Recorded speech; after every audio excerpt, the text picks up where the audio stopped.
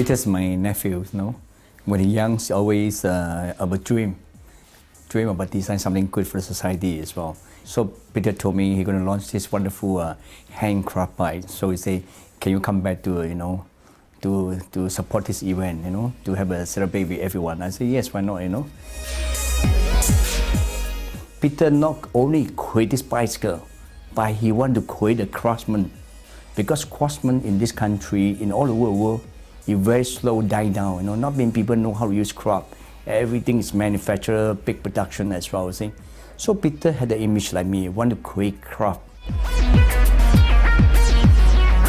You have to um, build up your own identity. You have to be unique. Then you have to have something bespoke. You have to get something um, customized. Everything in the world should follow this uh, concept. It's an idea about combining art and cycling together. Cycling is a really big culture and it's a part of our lifestyle. So bicycle should have its own character as well. Xanadu means a place beautiful, or maybe it's a paradise. So I wish to create a paradise here full of fantasy, creativity, or imaginations for everyone. So I name it to Xanadu. It's really simple. I think Peter's very determined, want to be make it work. See, all the artist designer they have to be, you know, emotion, working, you know, create a good art, you know, make sure they have to be work as well. Peter have that kind of energy, you know, it doesn't matter day and night. He'll be putting his image, putting his knowledge, putting his time to make it work. See. I mean, bicycle is very good for, for healthy as well. You know, you have a good exercise and all that thing, and less pollution for the country. Everything had to be talking about green. See, that's what Peter come up with that kind of idea. I went to uh, launch with Peter. I saw the art he did on the wall. You know, I said, "Oh my God, I'm falling in love." They say, "Why you fall in love?" Because the art, the way the way he created these art pieces, I can use for my shoe.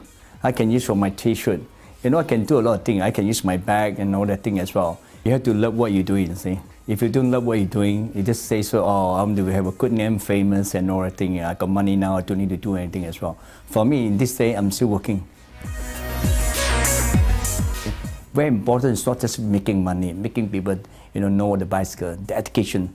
The education, that's what Peter wants as well, to let people know the knowledge, how to make the bicycle. I look into details really, really carefully everything in the world have got a possibility to be a part of my projects. This is what Bespoke Creative about as well. Because I think creative designers, for example, illustrator, graphic designer, they always design something based on a piece of paper or maybe something on screen. So I think this is a big problem. So I wish to have a Bespoke Creative as a playground to get all the designers involved to do something special. I give them opportunities to design something with non-traditional media this time I've got bicycle, but maybe next time could be bigger. I want to do Mini Cooper. Maybe I want to do a jumbo jet as well. So everything in the world could, you know, could be a project.